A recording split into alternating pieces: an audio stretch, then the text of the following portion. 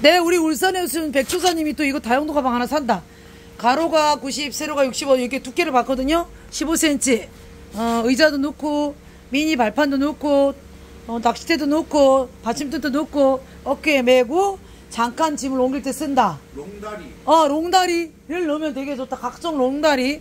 너무너무 좋다. 중요한 거는 이게 두꺼워. 그리고 방수 방수도 되고 질도 좋고 아름답고 중요한 건더 아름다운 무늬야. 밀리터리 지몽이 뭔 뜻이야? 좀, 좀 찾아봐. 내가 찾다, 마- 찾다 맞다. 이 무늬가 뭐니까 밀리터리 지몽 이렇게 얘기해 주시대. 빗살 무늬 에? 빗살 무늬라는데 빗살 무늬?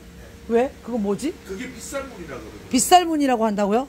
아, 네, 감사합니다. 오늘 하나 배웠네요. 크게 크게 위에 거 주는 것도 저- 저런 게 잘 나간다 이거 엄청 나갔지. 지금 대중소 가방 장난 아니에요. 파라솔 가방 54, 52도 엄청 나가요.